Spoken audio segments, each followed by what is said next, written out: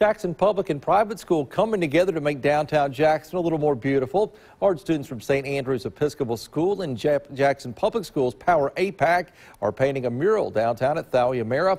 It's a collaboration between those two art departments and uh, was designed by students at St. Andrews and Power APAC. Um, last year we did a collaboration uh, across grade levels and did a large scale mural last year here.